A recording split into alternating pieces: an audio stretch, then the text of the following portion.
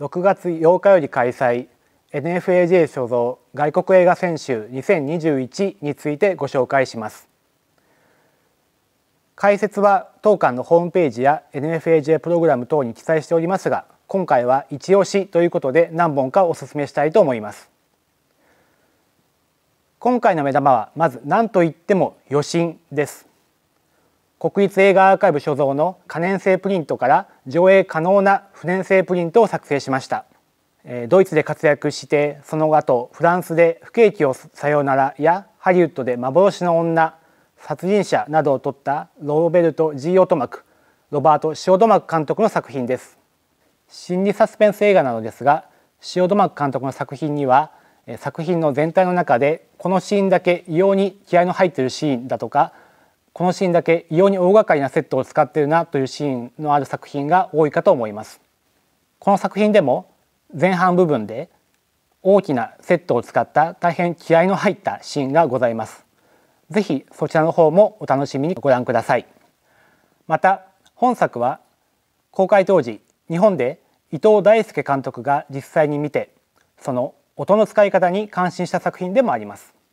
音声が入ってくるとなるとミュージカルや歌だったりそういった楽しげな要素の方が注目されがちですが本作では人を追い詰めていく人を苦しめていくそのような形で音声が非常に有効に活用されております。音の使い方の工夫という意味では今回の企画で上映する脱走者も合わせてご覧いただければと思います。当時の試行錯誤が今見ますと大変新鮮にそして斬新に感じられるかと思います。次にご紹介するのはこちらにありますポスターの作品黄昏の女心です。ダニエル・ダリューシャルル・ボワイエビットリオ・デシーカ主演でマックス・オフィルス監督の作品です。このポスターを見ますと、えー、ダニエル・ダリューデシーカはおりましてただボワイエがおりません。まあ、ポスターとして大丈夫かなと思うんですけども実際本編見ますとまさにこのダンスのシーンが非常に素晴らしくまた大変有名なシーンです、えー、ご覧になればこのポスターに選んだ理由が大変納得いくかと思います。ところで今回上映する映画の中でもう一つダンスシーンが見事な映画があります。それはこちら。表紙にもなっておりますインザスープです。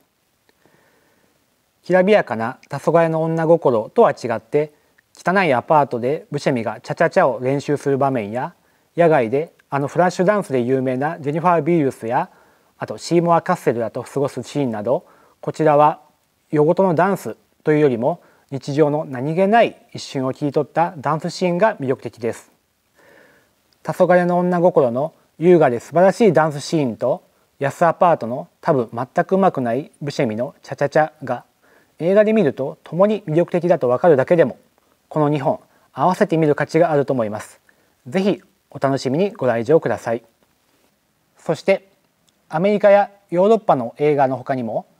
歌のシーンの大胆な画面展開で冒頭から釘付けでもう体ごと持ってかれるようなインド映画「2エーカーの土地」や